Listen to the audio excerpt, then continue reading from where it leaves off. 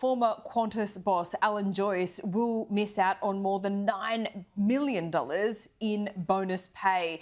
The airline informed investors via the ASX a statement this morning that it will withhold 9.26 million dollars worth of short-term incentives and a long-term bonus. Now Qantas concedes it misled customers in relation to flight cancellation processes and and that was subject to a federal court um, challenge and will pay a $100 million penalty. So, just to explain the penalty for Alan Joyce here, the board previously, before a governance review, said they would withhold $11.1 million in bonuses. While they did this review, this review is now complete and they're not paying 9.3 million of it. But he was already paid a salary and other payments for the year.